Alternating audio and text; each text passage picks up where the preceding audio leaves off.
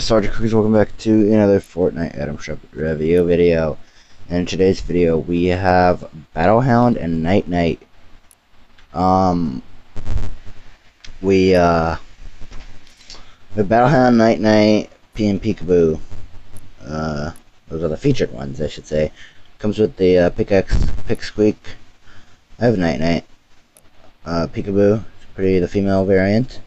Comes with the uh, clown mask pretty pretty cool. Um, then we have Battlehound. Uh, I like this. Uh, I like this skin. Pretty rare skin. Very very rare skin actually.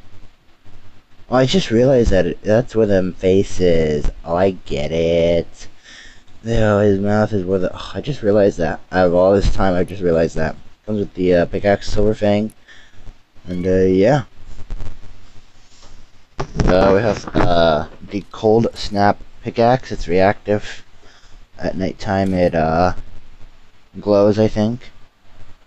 And uh, yeah, it's pretty cool. We also have Long Shot, the uh, with two sniper skins, with the range recon set. No targets at range. And I like this one because it's orange. I like orange. We also have the on hook, on the hook pickaxe. I mean, I mean, emote pickaxe, emote, totally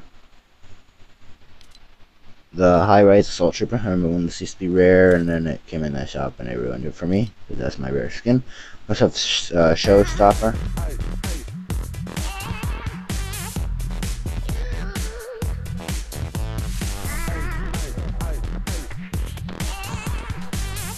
Not a very funny emote for me. This is the Snow Squall. I like this one because this is white, part of the Arctic Command set. And uh, you guys, that's it for today's item shop review. Oh yeah, and the Frozen Legends pack is back. But uh, yeah, guys, that's it for today's item shop review video. I hope you guys did enjoy, and I'll see you guys in the next video. Peace out.